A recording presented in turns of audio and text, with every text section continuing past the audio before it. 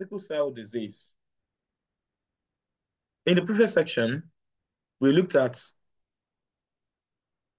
five levels of prevention as applied in prevention of sickle cell disease.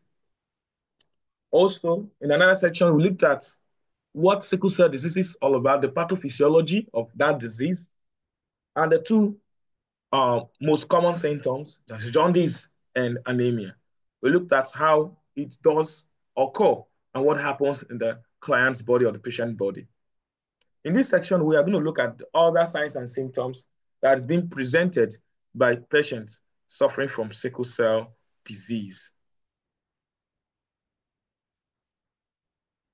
Poor growth and development. Poor growth and development. We're going to look at how do sickle cell disease contribute to poor growth and development. You know that sickle cell disease has lots of pathological processes that involves hemolysis of red blood cells. This hemolysis of red blood cells leads to reduction, reduction in hemoglobin levels because as the red blood cell is being destroyed, so, so also the hemoglobin is being destroyed. So sickle cell disease being a hemolytic disease or hemolytic condition can lead to chronic anemia because as the body continues to, the spleen continues to destroy the sickled red cells that have issues, the number of red blood cells will keep on coming down and hemoglobin levels will be decreasing. As such, the body oxygen level, oxygen demand will not be met. Then the body will be trying as much as it can to produce more red blood cells to meet up with the demand of the body. But however, most of the times the body is overwhelmed and the body can no longer meet up with this. As such, the body will now tilt towards chronic anemia. And chronic anemia results to a reduced delivery of oxygen to tissues. As such, the body will suffer. So the cells that are supposed to help in growth and development will be severely um, suffering from hypoxia. As such, growth will be delayed. Also, there is increased nutritional demand.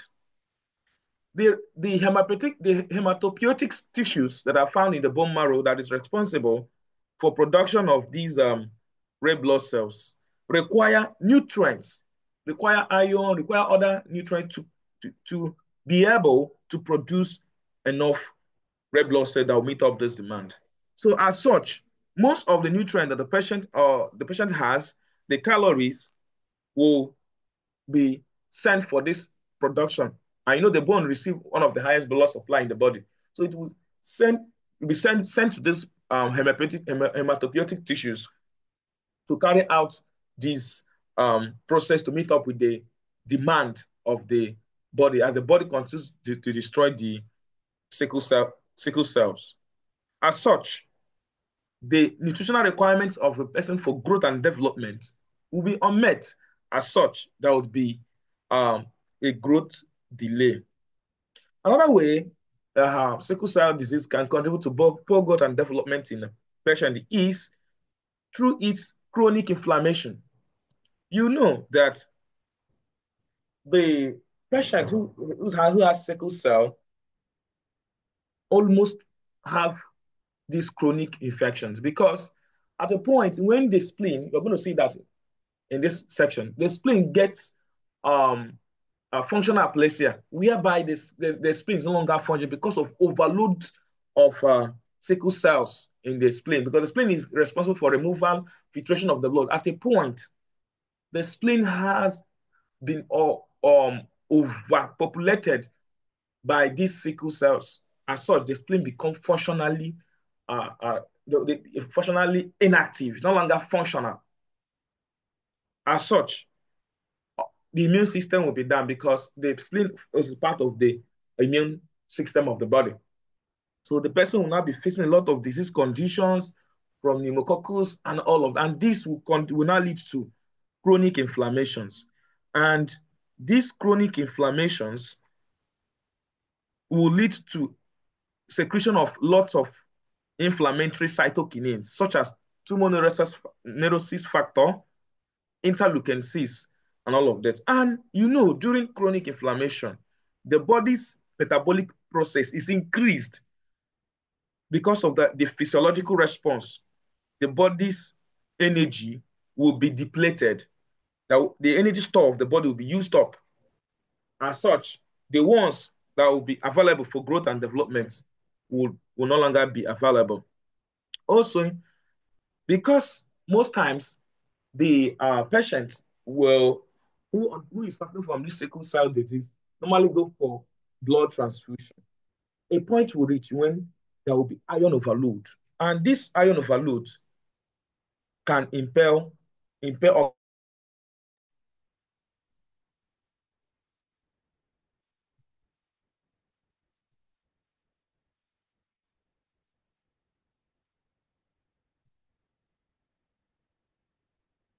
So this will not um, actually impair growth and development. Another way sickle cell disease can lead to poor growth and development is through its vaso-occlusive crisis.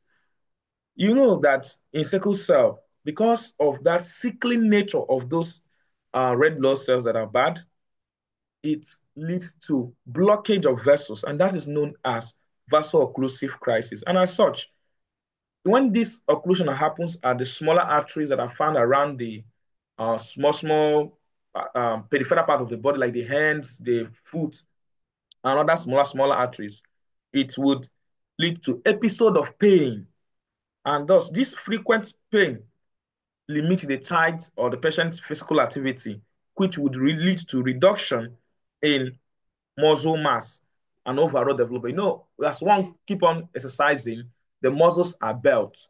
But because the person is avoiding this because of the, the, the patient is always on, in pains, especially during this vaso-occlusive crisis, the person will avoid physical activity. As such, the muscles are not well developed as such, affecting growth of muscles and body, body muscles. Another way it can lead to poor growth development is directly acting on the endocrine, on the endocrine gland inadequate growth hormone secretions. As, as the child continues to suffer from this, there may be growth hormone deficiencies because of the overall body is already affected. And as such, the, the child may not really grow very well. And the child may also have delayed puberty because of uh, the effects of sickle cell diseases along the hypothalamic pituitary gland gonadal axis and the growth hormones. Because as the body is already in a state trying to only to produce red blood cells, most of all these um, um, other part of the body functions are delayed. As such, the child or the client will have um, delayed puberty. puberty. Another sign and symptom is splenic enlargement, also known as splenomegaly we know that the spleen is found in the in the left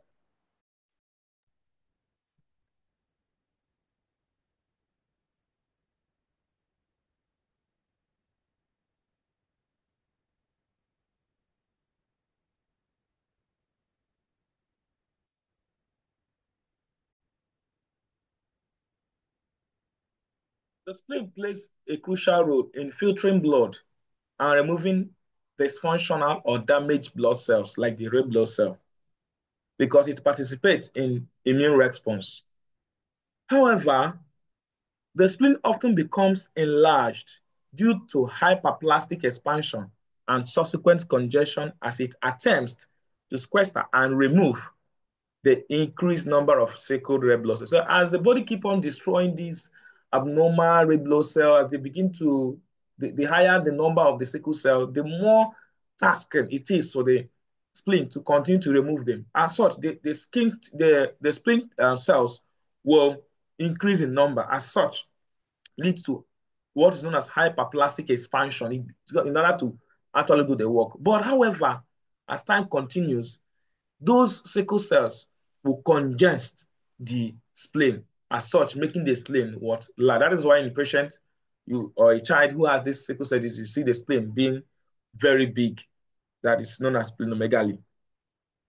Then these abnormally shaped cells are more prone to hemolysis. We already know. So the red, the red pulp of the spleen, which is responsible for filtering blood and cleaning damaged cells, becomes engorged with sickle cells, which leads to the first phase of enlargement of the spleen.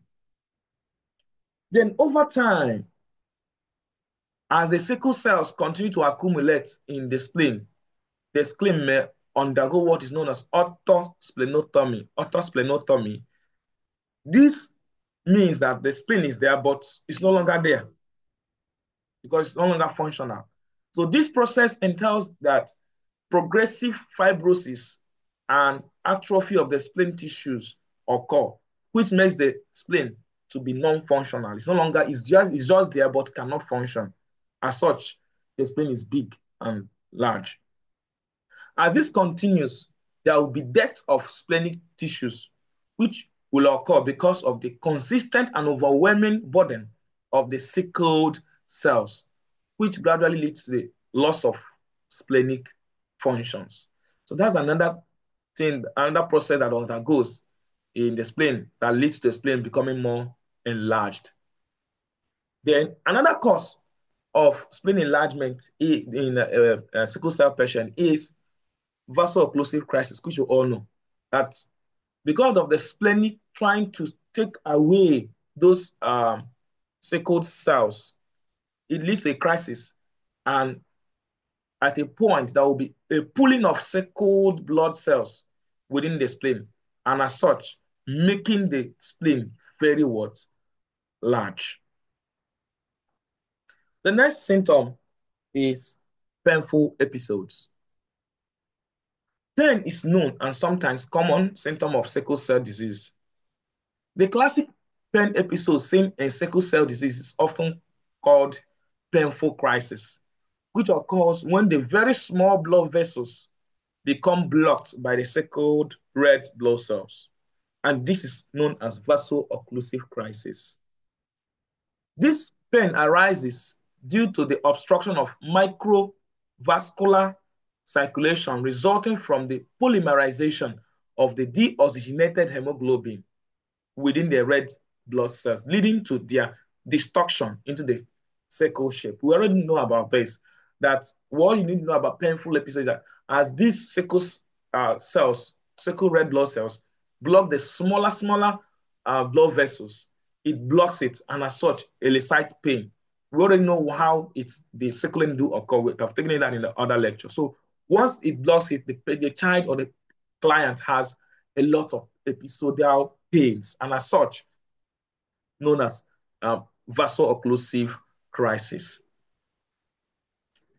So that is a symptom. Now, another symptom is dactylitis. So back to that episodic pain. That's why sometimes you see the the the, the patient having pain known as chest syndrome, pains around the chest because the rib, the rib, um, the rib bone also engages in production of red blood cell.